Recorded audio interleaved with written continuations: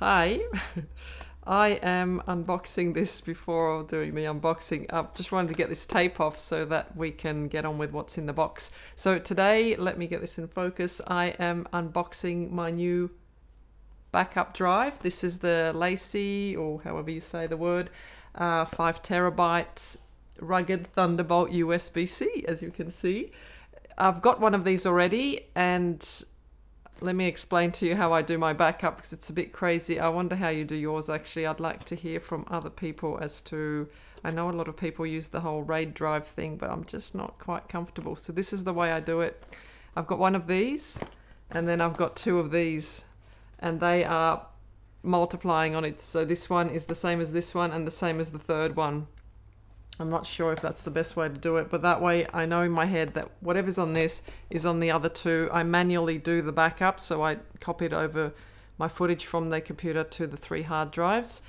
Um, I know that sounds crazy, but for me, it just feels like the safest way. And the reason I'm using two different brands is I just want to make sure that uh, nothing goes wrong with the one brand. So I'm sort of like, not only am I uh, spacing out my possible malfunctions over three drives, I'm also doing across different brands. So, but what's happened is that I've run out of room on these five terabytes. So I'm now going to split sort of my family personal stuff and and my YouTube stuff over two separate hard drive backup streams, if you like. So this will have the YouTube stuff and I'll only back it up to one more of these and then I'm going to wipe the others and sort of redo my backup system and have the three, let's say family photos will be over the three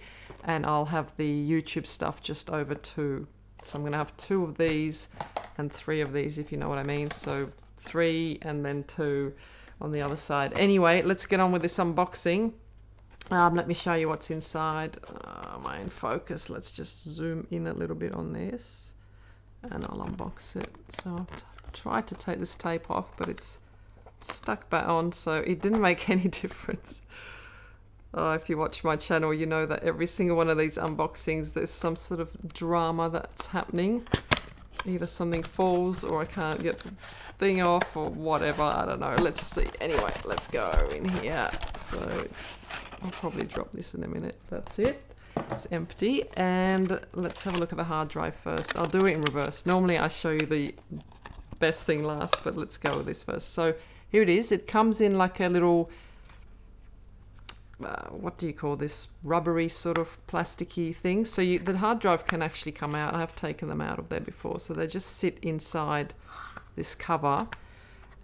And the cool thing about these is they've got the cord attached to them, which is also really good. So and, and it comes in this little sits in this little sleeve. So this comes out and you've got your Thunderbolt there and you've also got your USB-C which I'll be using.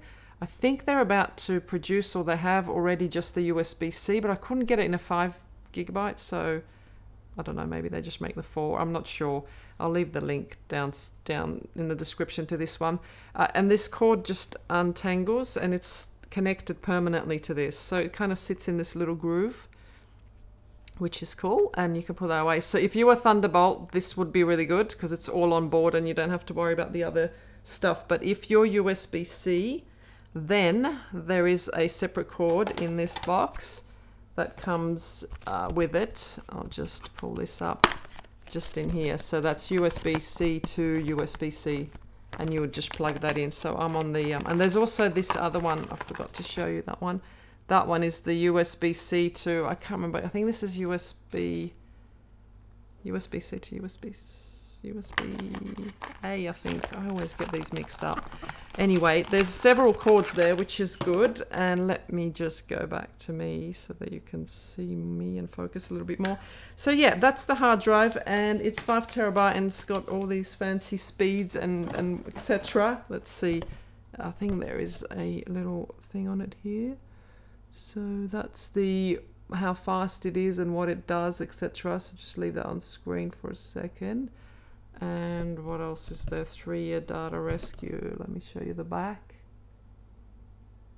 and I will show you that side as well. So yeah, I've been using these for a couple of years in different um, configurations, as in different terabytes, and they've all been really reliable. I've not had a problem with any of them, uh, nor have I had a problem with the Western Digital. So I'm just spreading my, you know, risk across different brands, but really they're both good. This one's obviously a lot bigger. Let me show you the Western Digital just for comparison. So same um, storage size, but a lot, uh, a lot smaller.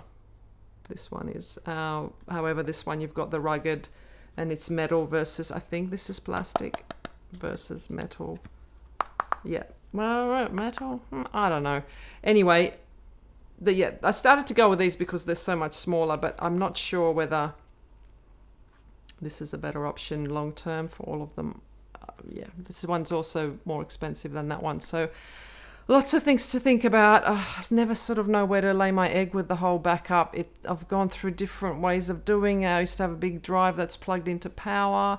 Uh, I used to do the RAID thing as well over like two or three drives some years ago. I didn't like that. I just feel like it's if something goes wrong, I know you can rebuild it through there, but I just I don't know. Having worked in computers before, I just don't trust. I just feel like this is a single unit and it's safe, and that's a single unit safe. If this goes wrong, this is completely unaffected. So yeah, that's my way of doing it. Let me know. I mean, I know people store it in the cloud as well. It's so so such a hard um, topic because as the cameras get, you know, 4K, 6K, 8K, 12K, the footage is getting out of control. And where do you put it? How many times do you back it up? Do you even back it up? Is YouTube enough? Like it's sitting up there now. Do I actually ever need the footage? I don't know. It's complicated. Let me know what you think. Um, try and resolve this dilemma. But anyway, I thought I'd share with you how I do it and what I use, and hopefully that's of use to you. And I'd love to hear from you in the comments. Um, let's start a chat, maybe um, so people got a better way of doing it and we can learn from each other. So yeah, if you like this video, subscribe. Sorry, it was a bit sort of all over the place, but I just do them live, unscripted, and the way they come out is the way they come out. So um, I will see you in the next one. Subscribe if you like, and like and comment and all that stuff. Bye.